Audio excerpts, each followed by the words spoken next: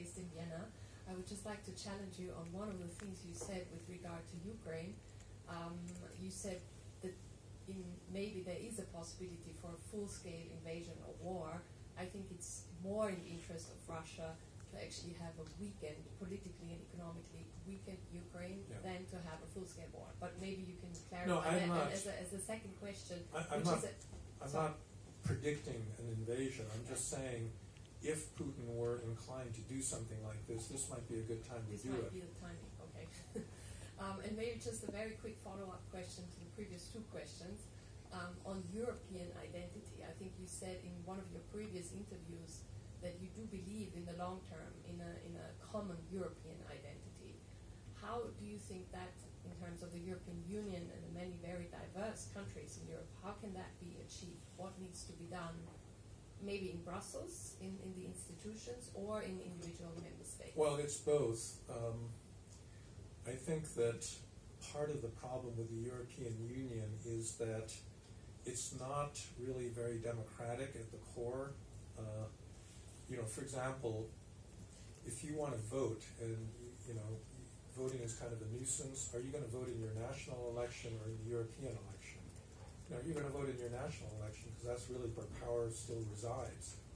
Uh, and to the extent that the EU has a lot of power, it's in the Commission, but the Commission is the least democratic part of the EU, uh, whereas the Parliament, the European Parliament, the most democratic part of the EU, is the weakest, you know, of all of the branches of the EU. So I think there is a fundamental legitimacy problem where um, people just don't feel that the EU responds to them, you know, given the power of the Commission and given its lack of, you know, basic democratic accountability, you know, it, it breeds all this resentment and so forth. And so I think in the long run, strengthening, you know, the more democratic parts of, of, of the EU would be one component of that.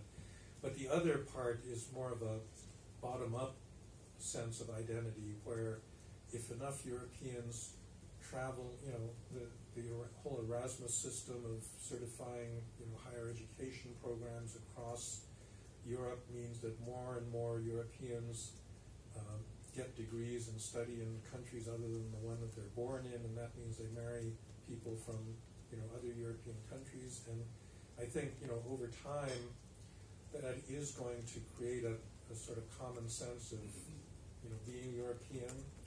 Uh, the only problem with that is that that's very that's a very elite phenomenon, uh, and a lot of working class Europeans really don't have those same opportunities to take advantage of, you know, the mobility that the EU offers, and so it is going to be, you know, in, in, in a way it kind of exacerbates the existing polarization because there's some people that benefit a lot from Europe, and then there's others that you know don't benefit, and so that uh, you know in the short run I think may be a bad thing, but in the long run, you know more and more people are going to get to know other parts of Europe, and you know there will be some you know, something in common. I actually think even the euro. So I think the euro was a big mistake and led to a big disaster, but even just having a common currency, you know, actually does create a certain sense of shared identity. So there's all these little things I think over time will contribute to uh, a European identity. But it's just going to be a very slow process, particularly when